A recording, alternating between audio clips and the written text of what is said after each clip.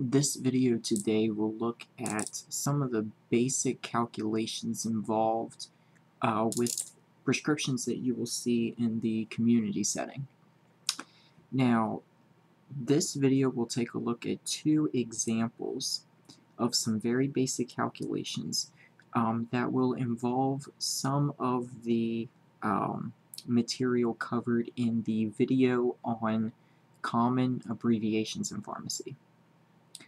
Both of these examples will deal with antibiotics and they deal with um, situations in which the prescriber has left it up to the pharmacist to decide how much of a medication needs to be dispensed.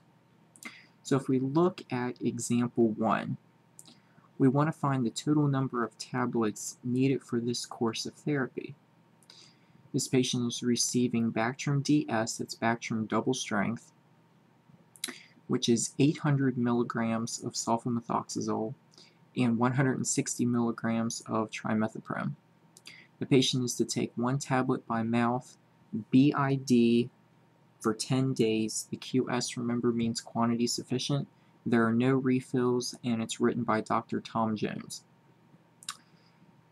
Now we have to go through and see what these abbreviations stand for, okay?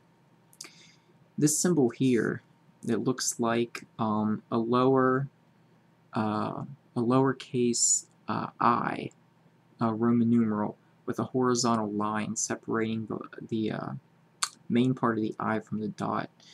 Um, this is a way that prescribers typically write um, the number 1. In this case it means one tablet. PO, remember, means by mouth. BID, remember BID means twice a day. Okay, for 10 days. And quantity sufficient means to dispense a quantity sufficient for the course of therapy.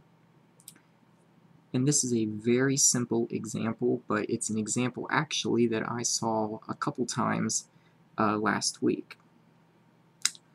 And it's very simple math, but the prescriber has left it up for the pharmacist to do.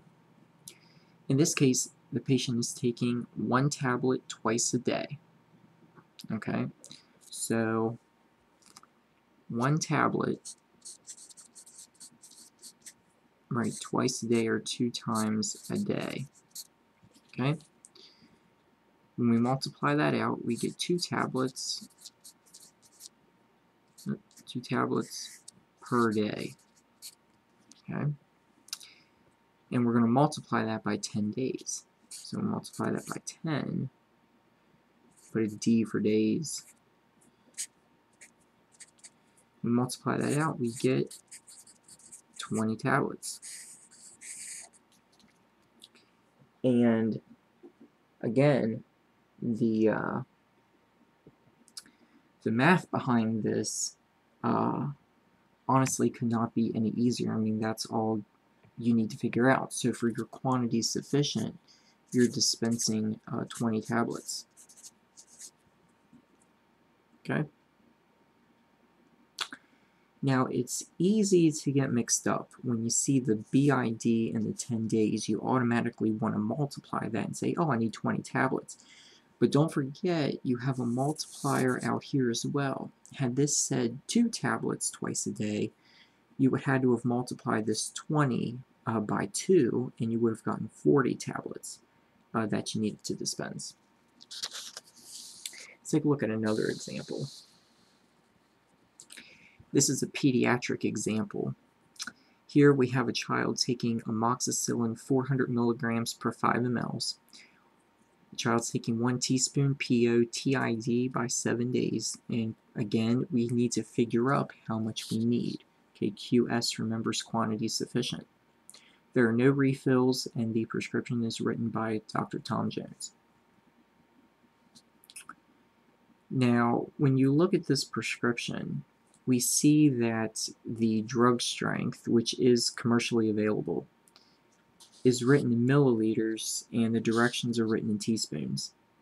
So there is a conversion that you need to know uh, that relates milliliters to teaspoons. And as it turns out, there's 5 milliliters in one teaspoon. So we can substitute the one teaspoon for 5 milliliters. So we're taking 5 milliliters three times a day. So 5 milliliters three times a day would be 15 milliliters a day. Remember, TID is three times a day. So 5 milliliters three times a day is, sorry you can't see that, is um, 15 milliliters per day. And we multiply that out. Okay, we're just multiplying the 5 milliliters three times a day. But this is not a single course of therapy. There are seven days. So we have to multiply this by seven days. Okay.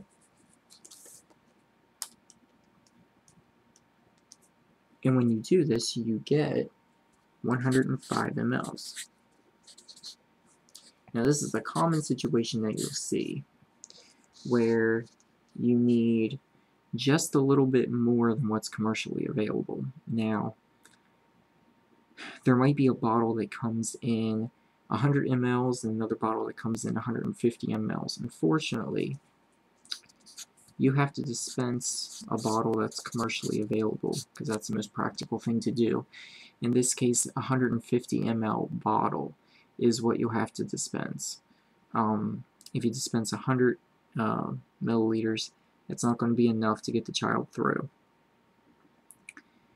Sometimes what you'll see, um, in fact most of the time, you'll actually see the prescriber write for a total uh, total dosage amount for the entire course that equals the volume available commercially. So sometimes you'll see instead of 7 days, um, you'll see 10 days.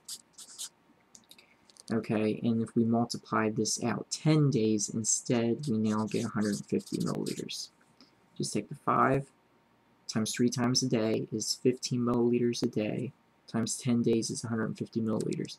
And it turns out that is a strength that is available commercially.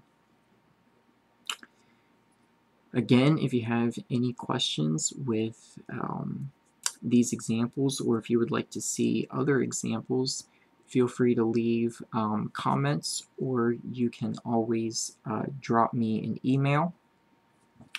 And if you need to ever drop me an email, you can do so at uh, TD Souders at gmail.com.